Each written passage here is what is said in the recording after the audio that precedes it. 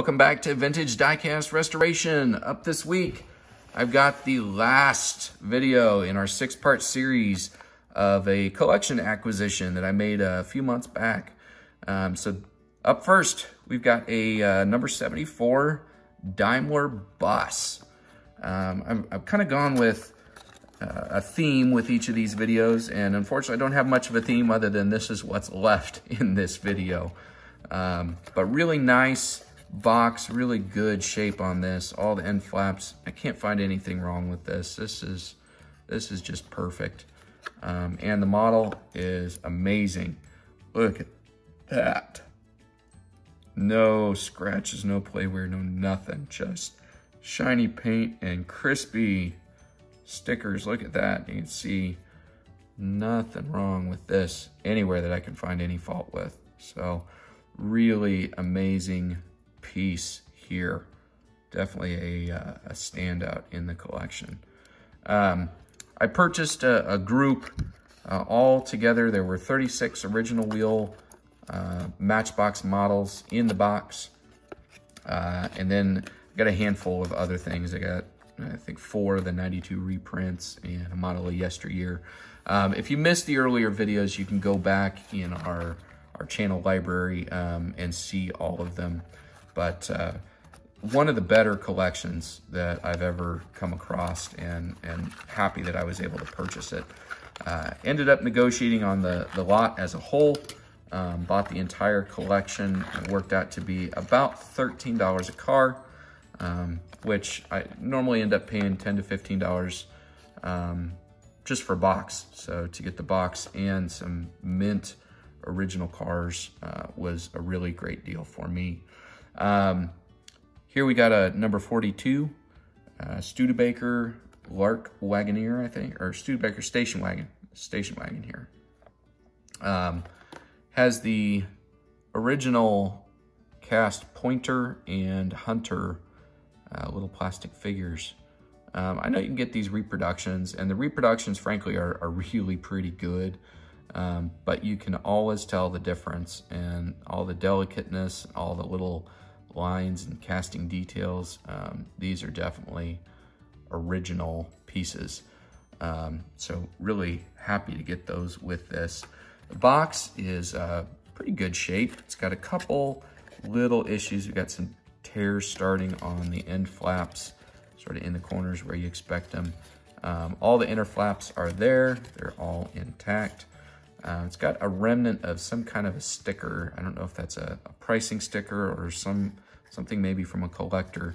Normally I leave those alone because I think they tell part of the history and stuff of the model, and if, especially if they're not in an area where it's blocking any of the artwork um, or affects how I could display it. I, I don't care, so I'll probably leave that alone. Uh, but overall, box is in really good shape. And this model, like everything else that I've purchased in this collection, is absolutely beautiful. Um, no edge wear anywhere to be seen. Um, all original pretty shiny on the base there. I don't know if you can see the reflection on that. Um, but everything on this looks to be great. Very little, if any, wear on the wheels. Tow hook's intact. All the plastics all the way around, everything looks good. And the, uh, the little sliding door on the top works just great. So beautiful little model. Um, happy to to add that one. I got three or four of these. I've done a, a couple restorations of these. We gave one of these away in our, uh, our sweepstakes or giveaway videos. Um, so that's heading out to one of my lucky viewers. Uh, I've had a lot of success with that. I think I'm going to do a couple more giveaways here in the future. Um, hopefully it won't take us quite so long to reach the number of subscribers on this next tier. But uh, there's a model specifically that I've done or one that you want to see me do for a giveaway, uh, leave it in the comments section down below. Um, I'm, I'm getting up to where my collection is getting large enough and I've got enough models in there that um, it's getting very close to be uh, uh, time for a purge in the collection. So I may have something in there that we can purge out and do as another giveaway. Um, so let me know what you think. Up here, I've got a 73 Mercury, number 73. It's a 1968 Mercury station wagon. Um, got the artwork with the little pups in the back window, of my favorite things, and then the telltale squiggle lines of the auto steer function on this. Um, this has a sticker on the, I think this is a collector sticker because it says 73-2 FI Ferrari, except we know this is not a Ferrari. Um, let's see what we got here. Car matches the box. So this has the uh, famous or infamous auto steer function. And you can see this one has the tabs in place, so it's snapping back nicely. Uh, base looks pretty good. Wheels look really nice. You can see all the lines in them. Um, paint on this is sort of, I, would call it mixed. Um, it's got a little bit of a, an odd texture. Uh, just, I can feel it in it. It's kind of like a, an orange peel maybe, or it's almost got like a sticky texture, but it's not sticky. Um, but there's definitely something going on with the paint on this model.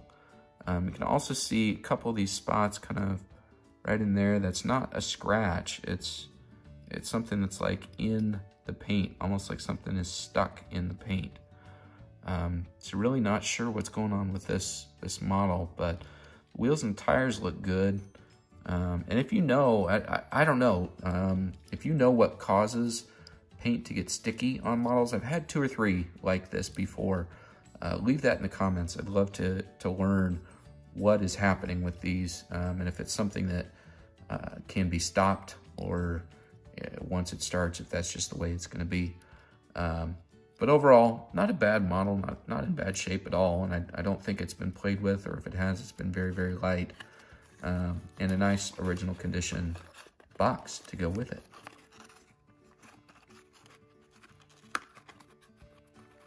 We'll have to, we'll have to see if we can, this is an example where this is not a price tag sticker.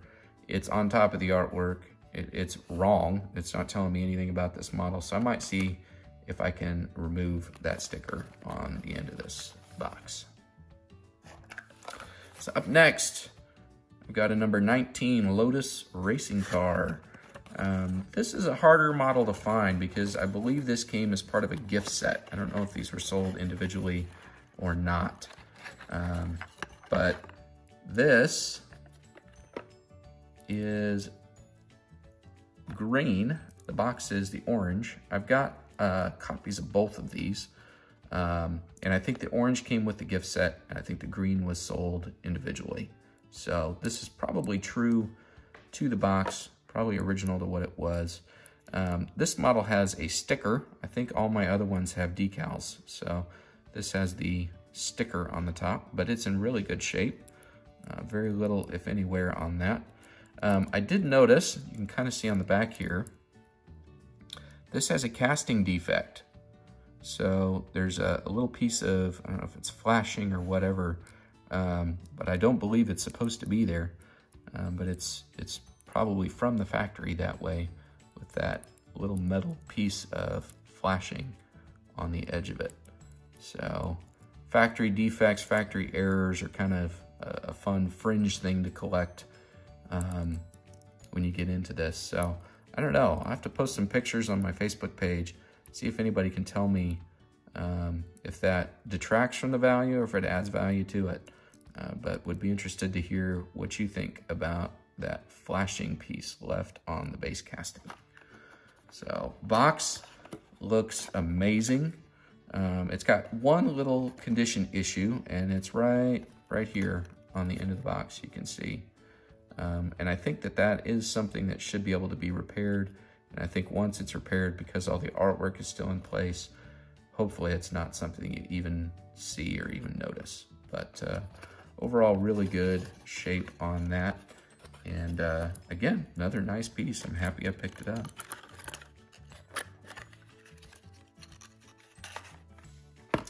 Up next, I've got the only loose model uh, that was in this grouping that was sent.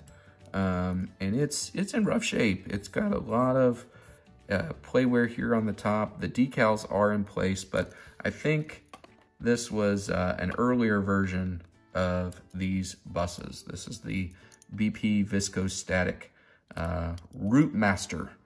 Um, I think the numbers are different too. This is a 74. I think this is a number five, if I remember right. Um, but this one, uh, again, it wasn't part of this. This was thrown into the box, and I'm very grateful to have it. Um, so nice little freebie that was uh, included with the rest of this. But um, like I said, not, not the greatest shape. We'll have to see how it cleans up because there's, there's definitely something like on stuck on the roof here. So we'll have to see, see what happens with that one. See if we can get that cleaned up a little bit.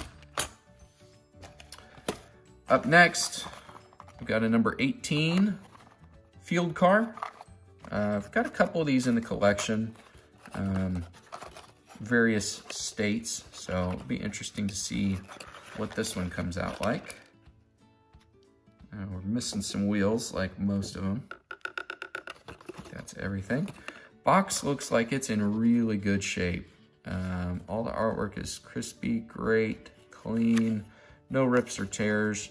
It says the uh, standard graphics for the auto steer function. Um, really happy with, with that one. The model, um, the, the wheels and tires on this, they're loose, uh, which is fairly common on these models. I, I think it, it happened a lot. Um, and I've been told a couple different things. I've, I've, been told that it actually has nothing to do with the tires themselves. It's the uh, plastic on the hubs that that plastic shrinks and over time they don't fit as tight. Um, but this one looks like it has never been played with. A very shiny base. Tow hook is intact. Um, got those standout bright red wheel hubs in there. Top looks like it's really good. No scratches, no edge wear, play wear anywhere on this model.